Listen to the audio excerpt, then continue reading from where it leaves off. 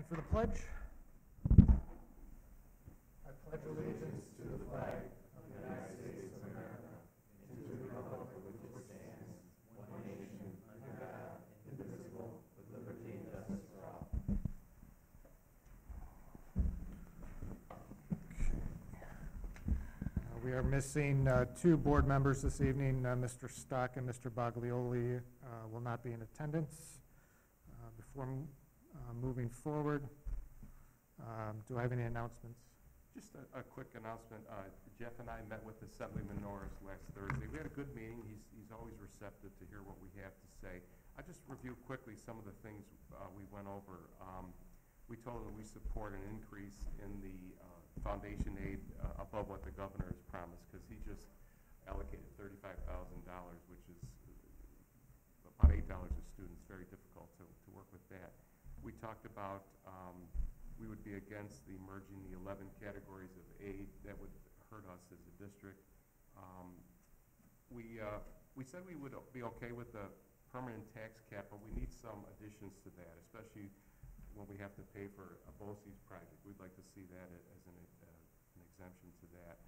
Um, we'd support, uh, the uh, TRS Reserve Fund, establishing that, uh, and the school bus stop arm cameras. Um, we, we would be opposed to the state control over funding allocations. We think that's a, a thing that the local districts should do and, and not, the, you know, have to, uh, uh, worry about that from the state. And we are supporting the, uh, age of twenty-one for buying tobacco products and vaping products. So we had a pretty good meeting and, uh, we're, we're glad he's always open to listening to us. Thank you for the update. Sure. Anybody else have an announcement? Um, I have uh, one in front of me. Uh, One of our board members, uh, Mr. Priori, um, is being honored, recognized um, by the School Administrators Association of New York State uh, as a recipient of the 2019 Irvin Schwartz Distinguished Retiree Award. Um, And as we know from his time on the board, uh, Dennis gives tremendously back to the community. Uh, But in addition to the Clarence uh, School Board, uh, he is also very active within his church, uh, within um, the Clarence Youth Board, uh, serving and, uh, as liaison in various PTOs over the years, and uh, helped to coordinate uh, the relaunch of the Niagara Honor Flight as well, very active there. So uh, There, there's a press release that hopefully everybody will be, uh, have the opportunity to read in full uh, later on, but congratulations, Dennis. Thank you. Thank you.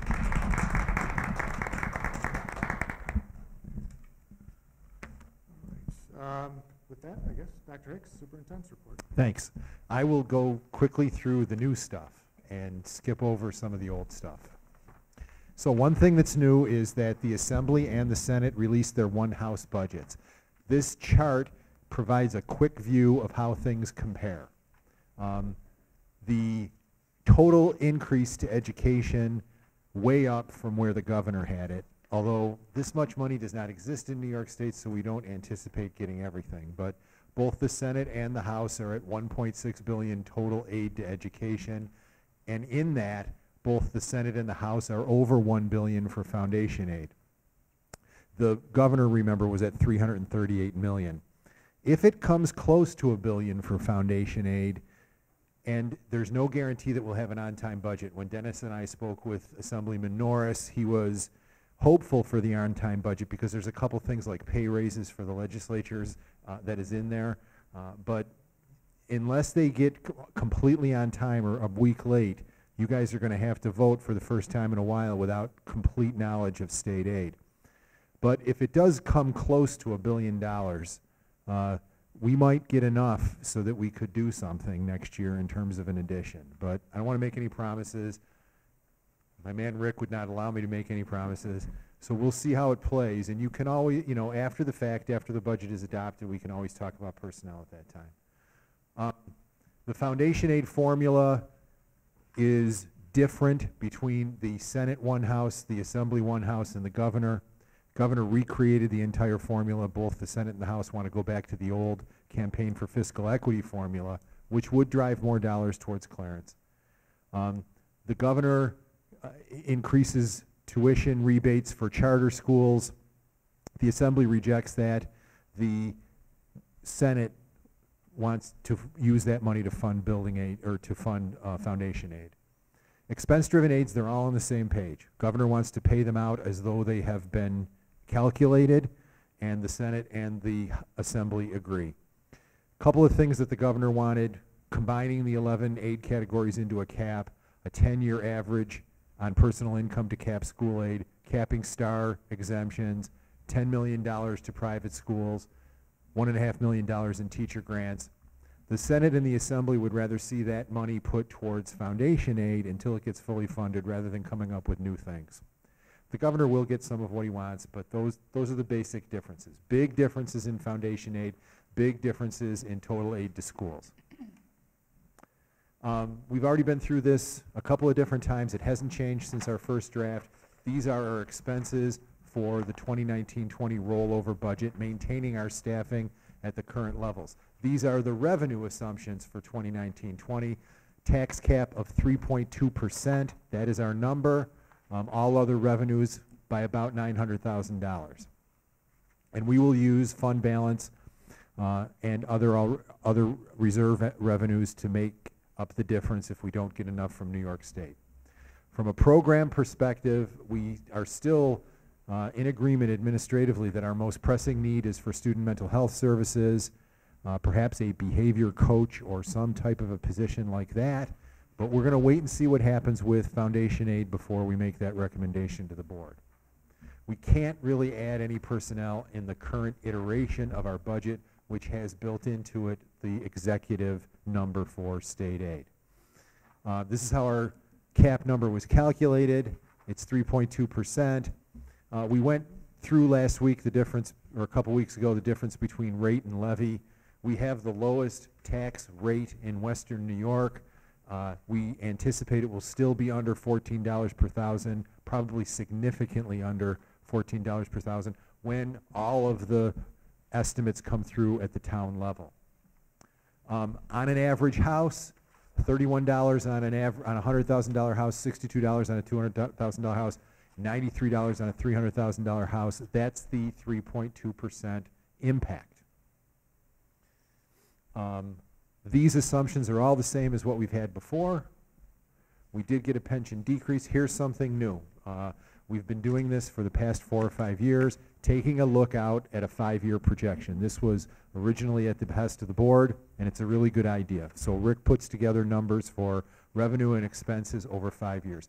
The five-year projections for expenses show an increase of about $2 million every year, uh, year over year for maintaining our budget. Some of the, eh, some of the assumptions that are in there, a 3% rise in wages annually, some of the projected retirements are built in, benefits rising from 4 to 5%, uh, contract and supplies 2%, BOCES about 3%.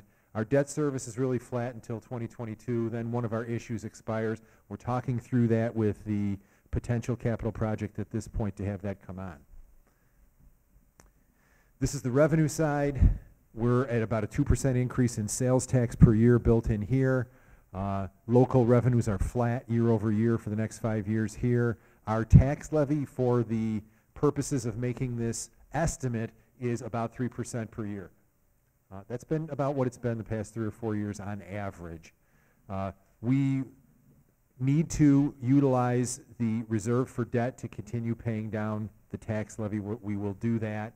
And state aid in here is increased by 3% per years, per year. That's a little ambitious.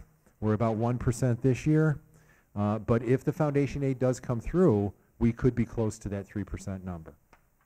So you can see that the revenues don't exactly match the expenses. Uh, We're, we're a little bit in the black if everything goes true, but that probably won't happen. Correct, Mr. Mancuso?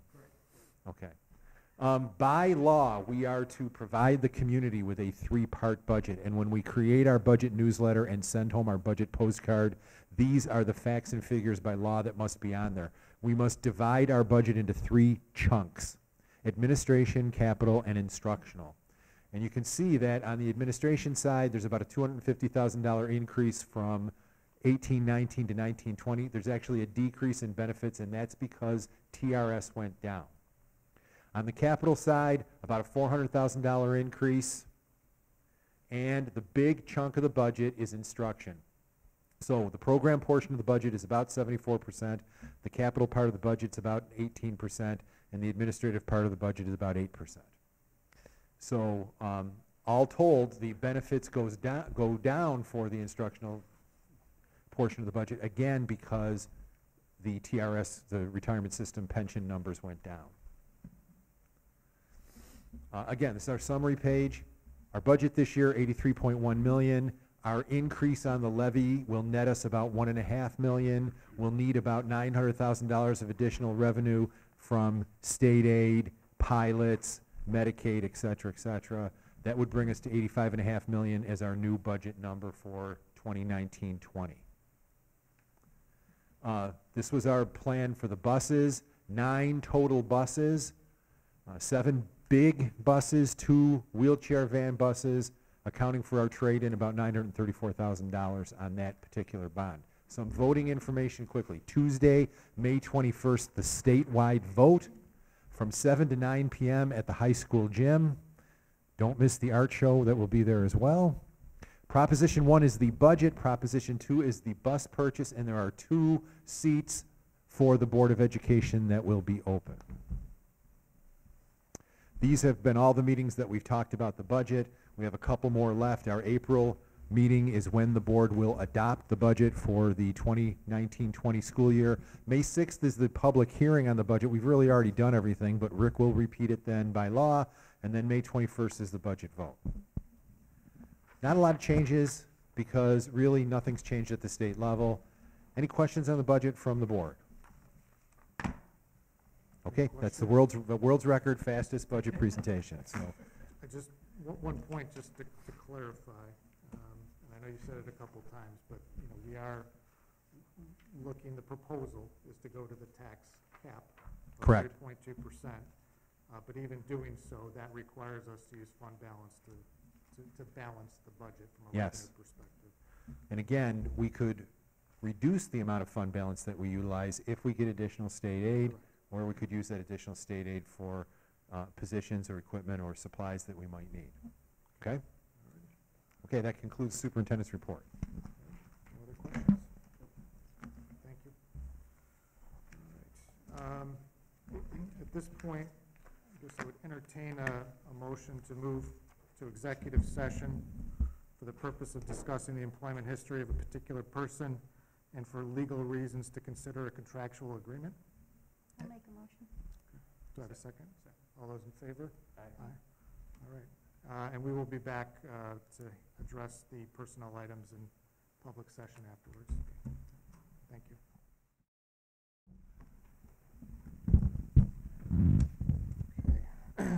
7:38. I'd like to call the meeting back to order.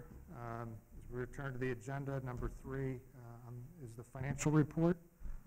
And we have before us um, selection of an architect for a potential capital project. Um, there will be a motion to approve Kideney Architects as the architect of record for this project. Who would like to make a Yeah. motion? Do I have a motion for, I'll make the motion. do I have a second? All those in favor of Kideney? Aye. Aye. That carries. Uh, Personnel, Dr. Patak? Mr. Fuchs, we just have a few items here, uh, an extension of a leave of absence as well as appointing two individuals to the substitute bus driver list. Any questions on items P1 and P2? Seeing none, could I have a motion? I'll make a motion. Do I have a second? Second. All those in favor? Aye. Aye. That carries. We have our public input session for the evening. Seeing no one in attendance, we will uh, assume that uh, we can move on. Um, So with that, uh, would entertain a motion to adjourn, uh, adjourn to executive session for the purpose of discussing the employment history of a particular person. Make a motion. Second. All those in favor? Aye. Thank you.